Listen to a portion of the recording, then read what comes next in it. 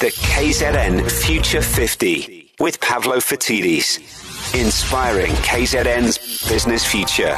It's time for KZN Future 50, and for that we have Pavlo Phitidis from Aurik. Morning, Pavlo. Good morning, team. So, which business are we featuring today, and why did we pick him?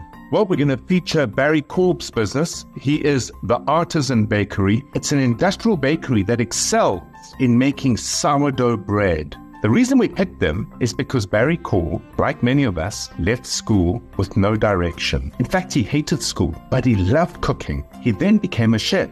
And then he learned that he loved science more than art. And because cooking is an art, but baking is a science, he found his path in baking. And these circumstances took him across the US, Europe, the UK, he lived and worked in France for many years under the strict apprenticeship of a master artisan baker. And that part, with his passion and the future we're going to lead him into, puts him in a position where I believe, and I've had the privilege of traveling a lot, that he is one of the world's greatest sourdough bread makers. Right here in KZN. Pavlo, so tell us, why is the Artisan Bakery special enough to be on the KZN Future 50? Well, Carmen, you know, today he's got a, a business partner, Rick uh, Hooper. What's really important about this is Barry has deep technical expertise in the product that he creates. It's his job to ensure quality. And bringing on a business partner was a very smart move because his business partner, who's an accountant, is then responsible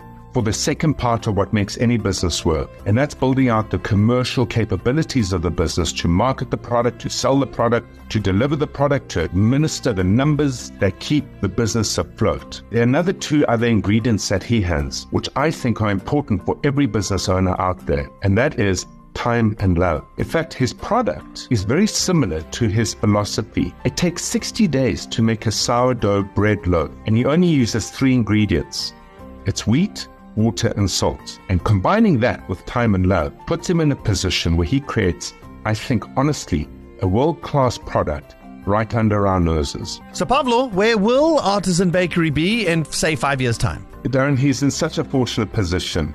He's got a premium product that has grown in its sales year on year for the last three years at around 40%, and it talks to the quality of the product that he has produced. And now he and Rick want to raise funding to scale growth. And what scale growth really truly means, you want to take the 40% to 120%. You're in, you're out for the next two, three, four, five years. They know they've got a proven product. They know that it works. They know it's being rebought again and again and again. And here's the thing though, before you actually raise funding to pour it into scaling your sales, you need to create a sales system. And a sales system says you need to decide who your customers are and pick customers that are similar to each other so you can learn to understand the language they need in marketing, the language they want to hear in sales, so that you can simply get the product in front of them. And in doing so, you know that the product will carry the retention of those customers down the line. So that's the preceding steps that they need to have in place in order to attract a funder. And this business is ripe and ready for funding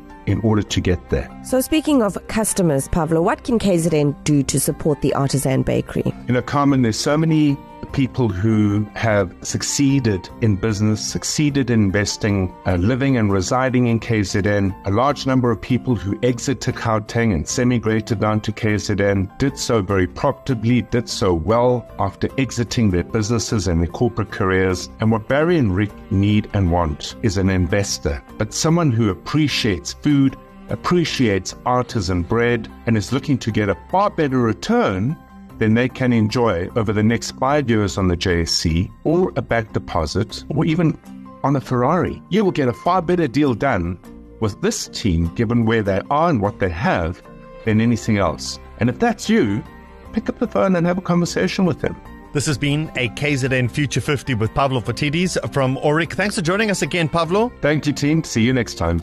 This is amazing. So, listen, if you want to get involved with the KZN Future 50, just head on over to our website, ecr.co.za, and you'll find also all the information on all of the companies that have been featured.